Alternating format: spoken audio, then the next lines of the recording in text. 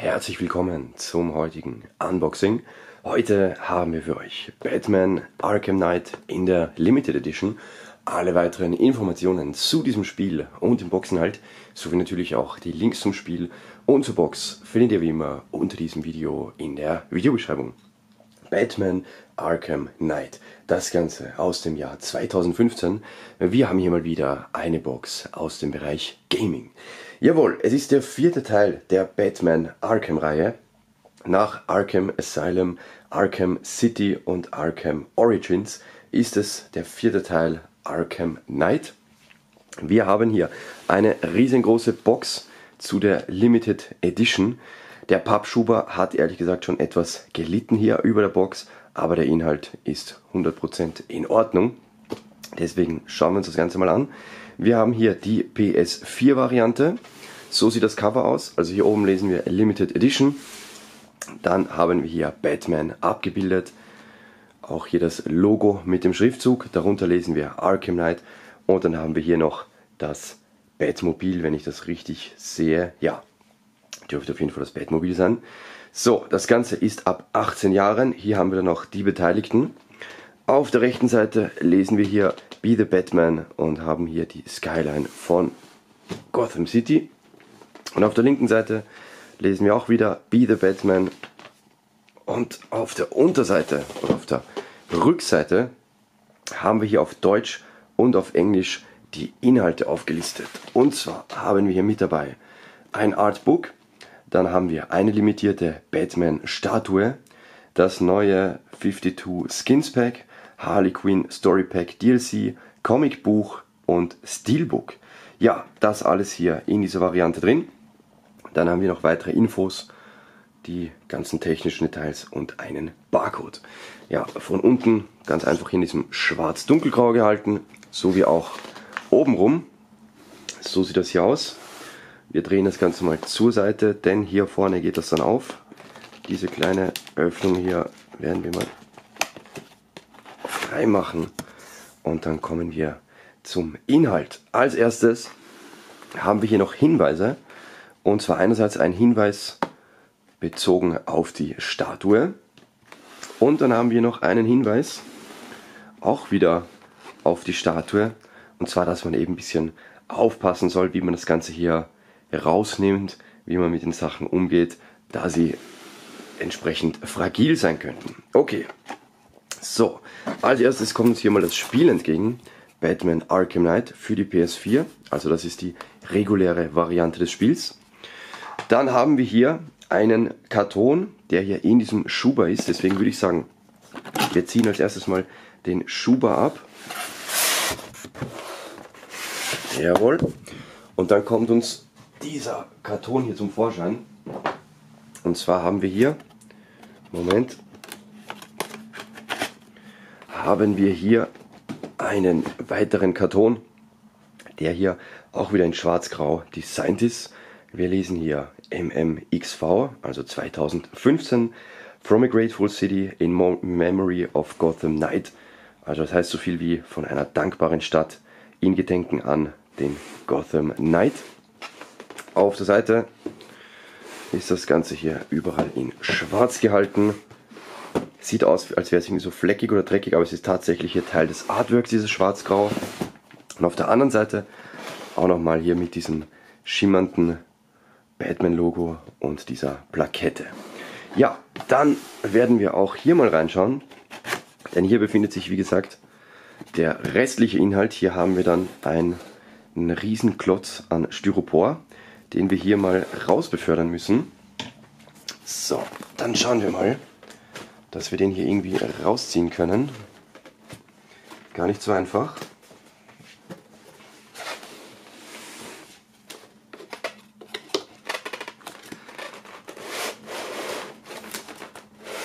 Aber ja, es funktioniert.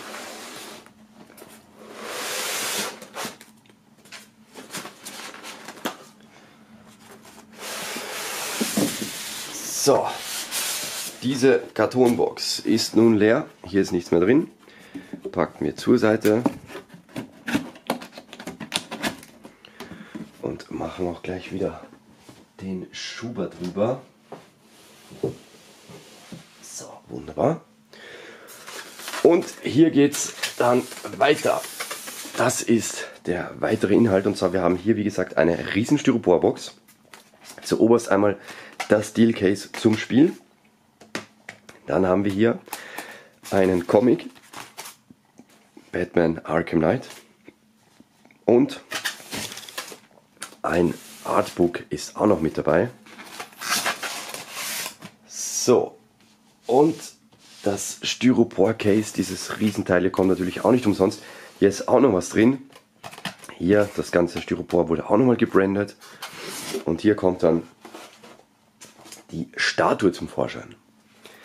Jawohl, das ist die. Die werden wir auch mal raus befördern. Wie gesagt, solche Sachen immer am besten nicht oben anfassen. Das war ja auch dieser Warnhinweis bei der Box. Sondern immer am besten irgendwie bei der Plattform oder so. Das ist am stabilsten. Da bricht man nichts ab oder reißt irgendwas ab. Hier gab es zusätzlich auch noch Batterien drin. Drei Stück. Die habe ich jetzt hier nicht mehr drin gelassen. Die habe ich jetzt separat. Schauen wir uns noch an. Aber die waren schon etwas alt und haben ausgesehen, als würden sie auslaufen. Deswegen habe ich die dann mal entfernt. Wir werden es dann mit drei neuen Batterien probieren. Also die sind nicht jetzt standardmäßig drin gewesen, diese Batterien, das waren andere. Nur zur Info. So, aber wir starten mit dem Spiel an sich. Deswegen packen wir die Statue nochmal kurz zur Seite und kommen zu dem eigentlichen Spiel. Das ist dieses hier, Arkham Knight. So sieht das aus. Hier lesen wir, was hier, was uns erwartet. Und zwar, während die vereinten Schurkenmächte von Gotham die Kontrolle über die Stadt übernehmen, entfesselt der dunkle Ritter das neue, transformierbare Batmobil im explosiven Finale der Arkham-Trilogie. Batman Arkham Knight ist das ultimative und umfassende Batman-Erlebnis. Ja, dann würde ich sagen, schauen wir mal rein. So sieht das aus. Wir haben hier einerseits auf der linken Seite so Booklet und diverse Bonusinhalte. Und zwar haben wir hier einen sechs Monate gültigen Season Pass. Dann haben wir das Harley Quinn Story Pack, die Scarecrow Nightmare Missions, das neue Skins Pack und dann hier noch Info. Also es gibt ja auch eine Serie zu Gotham, Plus dann haben wir hier auch noch das eigentliche Booklet zum Spiel. Ja, gut, also das sind so die Bonusinhalte, die DLCs, die man hier mit beigelegt hat. Das Spiel an sich sieht so aus. Schauen wir uns noch an. Das ist das Spiel. Also klassische Spieldisk. Und wenn man möchte, kann man das Ganze dann natürlich umziehen hier in das Steelbook, das sieht so aus. Also hier Batman echt mächtig vor seinem Batmobil. Und hier sehen wir es nochmal in voller Pracht. Wenn wir das aufklappen, dann ergibt sich auch hier das Gesamtbild. Jawohl, so sieht das aus. Und das Steelbook kommt hier leer, weil hier kann man dann wirklich die Sachen von dem regulären Case einfach umziehen. Bedeutet hier dann Booklet etc. und hier die Spiele disk reinmachen, wenn man möchte. Die sieht auf jeden Fall sehr heftig aus, so von der Optik. Hier ist auch keine Schrift oder irgendwelche störenden Elemente. Hier ist einfach nur das mächtige Motiv, sowohl des Batmobils als auch von Batman. Dann haben wir den Comic, das Comic-Heft. Das sieht so aus. Arkham Knight ist recht dünn, aber wir haben hier einerseits mal die Infos, wer hier beteiligt war. Und hier geht es dann auch schon los. Also hier kann man dann nachlesen, was sich das ereignet hat. Mit wem Batman hier den Kampf aufnimmt. Hier ist unter anderem Harley Quinn mit am Start. Aber natürlich auch viele andere alte Bekannte. Und hier ist er dann, der Arkham Knight. Das Ganze ist übrigens auf Englisch, wie man sieht. So, hier endet das. Dann haben wir hier noch so Werbung und Infos zu anderen Produkten. Okay. Gut, soviel zum Comic. Dann haben wir noch mit dabei ein Artbook. Das kommt hier im Querformat. Hier auf der Vorderseite das Batman-Logo. Auf der Seite beschriftet. Und auf der Rückseite This is how it happened. This is how the Batman died. So, hier nochmal die Brust von Batman und auch hier wieder das Logo so in Glanzoptik. Das Ganze kommt hier übrigens in so einem Einband, also das Ganze ist hier, das ist dann das eigentliche Cover. Sieht auch heftig aus. So, und dann haben wir hier eben entsprechende Designs und Artwork zu sehen. Also, was haben wir hier? Hier haben wir einmal so einen Einleitungstext von einem der Entwickler bzw. vom Director von Rocksteady Studios. Und hier dann jede Menge Fotos bzw. Designs zum Anschauen. Hier geht's los mit Environment, also die Umwelt hier in Arkham bzw. Gotham City. So sieht das aus. Da haben wir so die verschiedenen Schauplätze des Spiels. Unter anderem hier das Polizeihauptquartier, den Wayne Tower und so weiter und so weiter. Hier ist auch der Riddler. Da kommen wir noch. So, jetzt kommen wir zu den Charakteren. Genau, hier geht's los. Hier ist Scarecrow oder auch Harley Quinn, Catwoman, Poison Ivy, Two-Face und seine Gefolgschaft, Penguin und seine Leute, dann natürlich auch der Riddler, Firefly, Azrael, Commissioner Gordon, Oracle, Robin, Nightwing. Also sowohl Verbündete als auch Feinde hier mit dabei. Und dann haben wir hier noch Technologie, die hier in Arkham eingesetzt wird. Also das ist ja der Arkham Knight, der hier mit jede Menge so Kampfmaschinen und Robotern und Drohnen kommt. Und jetzt im letzten Abschnitt geht es noch um Batman. So, hier haben wir dann noch sein Batmobil und auch den Batwing, sein Flugzeug. Ja, hier nochmal das gesamte Team von Rocksteady. Okay. Und hier nochmal ein fettes Bild zum Abschluss. Okay, soweit zu den Büchern bzw. zu dem Comic-Heft und dem Buch. Und als letzten Inhalt haben wir dann noch die Statue, das ist diese hier. Also hier in einem schwarz bzw. auch wieder dunkelgrau. Batman hier riesengroß auf den Dächern der Stadt. Hier lesen wir auch wieder ähm, Gotham Knight from a Grateful City in Memory of the Gotham Knight.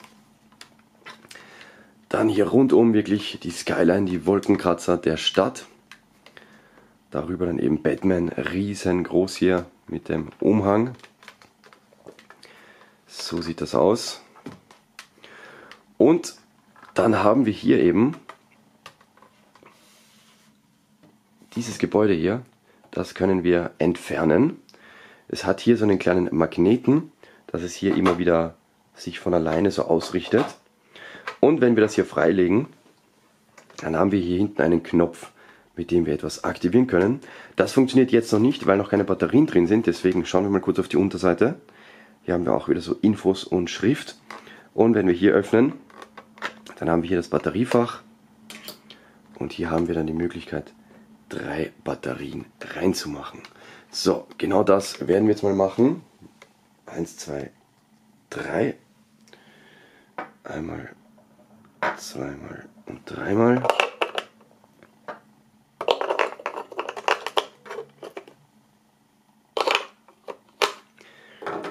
Dann können wir hier wieder zumachen.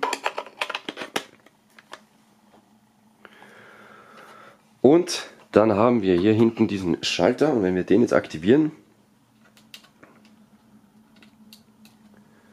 dann leuchtet das Ganze hier von unten. Also, ist natürlich jetzt etwas, ja, oder nicht ganz so heftig, wenn man jetzt natürlich die Lichter abdreht, dann wirkt es natürlich noch krasser, aber man kann auf jeden Fall sehen hier, so quasi die Straßenschluchten, die sind hier beleuchtet.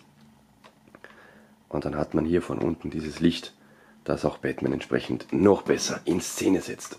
Ja, nochmal draufdrücken, dann geht das Licht wieder aus. Dann können wir auch das Gebäude hier wieder dran machen, an Ort und Stelle. Und zum Abschluss fassen wir noch einmal kurz zusammen, was sich alles in der Box befindet. Einmal die eben gezeigte Batman-Statue mit der Möglichkeit eben, dass sie leuchtet. Dann haben wir hier dieses Comic-Heft Batman Arkham Knight. Das Artbook mit den ganzen Designs und Entwürfen. Das Steelbook zum Spiel und natürlich das Spiel in der regulären Variante mit den ganzen DLCs, mit diesen ganzen Download-Codes für zusätzliche Inhalte. Jawohl, das alles.